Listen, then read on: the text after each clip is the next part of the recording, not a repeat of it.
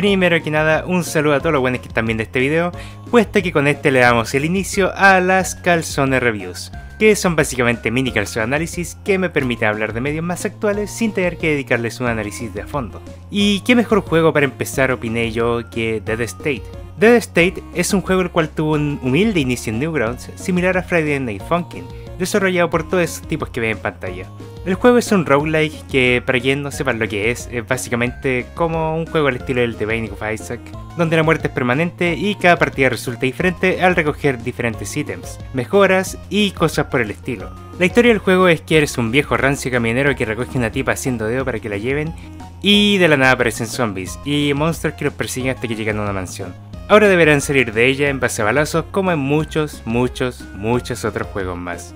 La razón principal por la que quería hablar de este juego es porque, bueno, a mí me gustó bastante desde el momento que lo probé. Me encantó el estilo que tiene, el nivel de dificultad, la música, los personajes y vaya personajes y por supuesto la jugabilidad, cosas que encontré bastante buenas para un juego tan criminalmente infravalorado. Cuando quise buscar información de este juego me sorprendió saber que muy poca gente hablaba de él, con uno que otro gameplay de algunos tipos, casi ninguna guía sobre cómo bloquear a los personajes y el OST del juego sin encontrarse en ninguna parte de YouTube. Por lo que yo mismo me decidí a comprar el OST y subirlo a YouTube para que el resto de la gente pudiese escucharlo. El hecho de que este juego esté tan infravalorado es la misma razón que me llevó a realizar este video, donde ojalá trataré de convencerlos a que ustedes mismos se lo compren. Primero que nada hay que responder una pregunta muy importante para cuando alguien piensa conseguir un nuevo roguelike. Con esto siendo, eh, ¿qué tiene este roguelike que otros no tengan ya? Bueno, las dos principales razones que hace este juego diferente a muchos otros roguelikes es que este tiene una perspectiva isométrica, es decir, que estás viendo y moviéndote en direcciones de noreste, sudeste y así, en vez del típico norte, sur, este y oeste. Ah, y también puedes saltar y disparar en el aire, así que también hay que tomar en cuenta la altura cuando juegues a esto.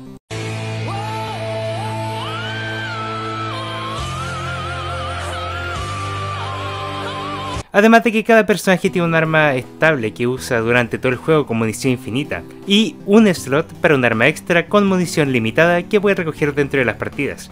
A diferencia de roguelikes como el Isaac donde los personajes empiezan de forma bastante similar y obteniendo formas diferentes de atacar solamente con algunos ítems, o Enter the Gungeon por ejemplo también, donde el personaje que escojas solo cambia el equipamiento inicial y unas mínimas mejoras. Aunque para ser honesto en ese juego sacas tantas armas que vale totalmente la pena ese cambio. Al tener un arma principal diferente con cada personaje realmente hace que necesiten mejorar individualmente con cada uno, requiriendo diferentes habilidades para cada estilo de juego. Además, cabe mencionar una mecánica que pondrá bastante probabilidad para speedrunner juegos.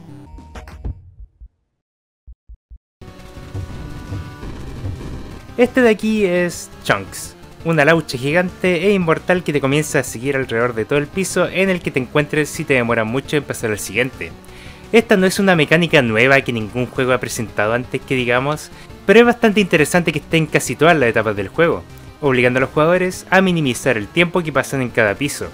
Cabe mencionar que en la mayor dificultad este tipo se demora la mitad del tiempo que normalmente le toma aparecer, por lo que este juego puede volverse bastante estresante realmente.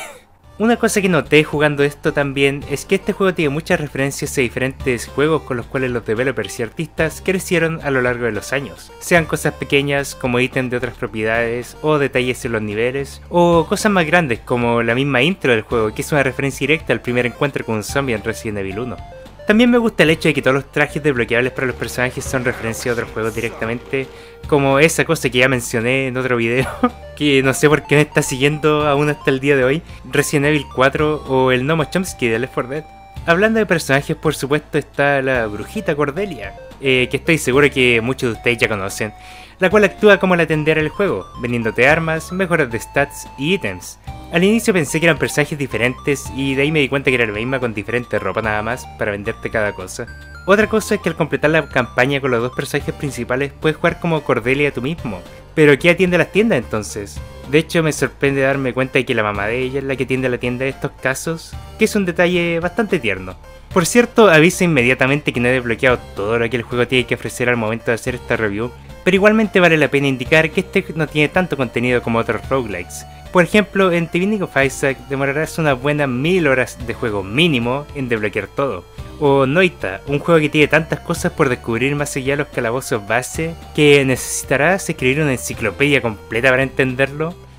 Dead State no es para nada así, es un juego bastante simple con muy pocas cosas que desbloquear más allá de los personajes y skins. Cosa que veo como algo que a muchos los convencerá de no jugar esto, especialmente aquellos que son fans de The Binding of Isaac y juegos así. Pero en este caso el hecho de que el juego sea tan simple realmente no importa, porque la jugabilidad en sí vale totalmente la pena a pesar de que no tenga tanto contenido que explorar como otros roguelikes. La única queja verdadera que tengo en cuanto a este juego es sobre los bosses, que hay al final de cada piso. Hay muy poca variedad entre ellos de momento, a lo más hay dos que te pueden salir cuando completas un piso, pero hay algunos pisos que ni siquiera tienen un boss diferente para darte variedad. Por ejemplo, el laboratorio siempre pelearás contra el mismo boss. No solo eso, sino que los bosses son increíblemente fáciles comparado al resto del juego. Tienen muy poca vida y sus ataques son bastante fáciles de esquivar. Aunque realmente es mi única queja que tengo acerca del juego, y al menos los bosses finales sí representan una amenaza a diferencia del resto que te encuentras en la mansión. Así que, para resumir, que un juego sea simple como Dead State no significa que sea directamente malo, y al menos a mi parecer yo me divertí bastante jugando este juego. Especialmente por el hecho de que de vez en cuando sí necesitamos uno que otro juego que sea un poco más simple. Misma razón por la que les recomiendo a ustedes mismos darles una oportunidad. Para ver si ustedes lograrán escapar, o si es que se van a demorar mucho tiempo en la tienda viéndole las tetardas a la bruja solo para ser matados por chunks. Sin más que decir, se despide Calzone.